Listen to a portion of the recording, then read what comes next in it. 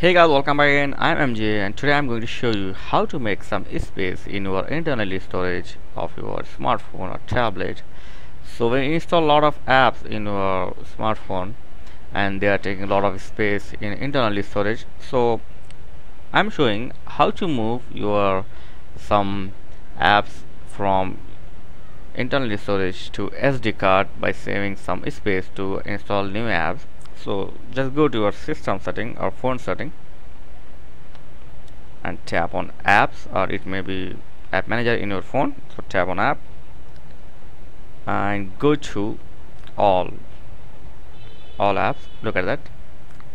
Okay. So here we have all apps like install or pin install apps. So open some app like this one amazon. And here you can see move to sd card so this app you can move to SD card and it will save some space in your internal storage. So click on this. Okay it's moving. When it's going to move you don't press any key or don't go to back. So it's moving now. Yeah it's complete and you can see this much of space is free from your internal storage. So like this you can do to other apps but some app developer don't want to move their apps into SD card. So we have to search one by one check one by one. Okay I will show you.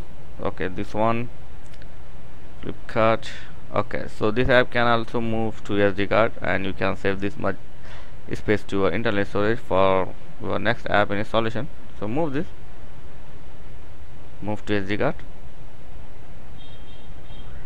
okay it's moving so don't disturb your phone or don't press any back button. Yeah done. Okay so the gallery as you can see I will show you one example. So this app you can't move from your internal storage to your SD card because it's a system app. So as I said some developers app developers don't want to their app move into SD card but maximum apps you have installed you can move. I will show one more this like Inshorts. And here click on move to SD card. Okay it's moving. And you will get 15 MB point uh, yeah 18 MB free from your internal storage. And if you want to downgrade or uh, uninstall any updates apps you can do this easily. For example Google Play Store.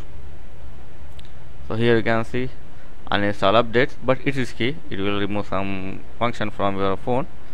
So if you want to uninstall up some uh, updates apps so you can tap on uninstall updates so it makes some app some app space to your phone to install the next app. So this is a easy way to move uh, app into SD card and make some space to your phone. Thank for watching. See you in next video. Please don't forget to like comment and subscribe. Thank you very much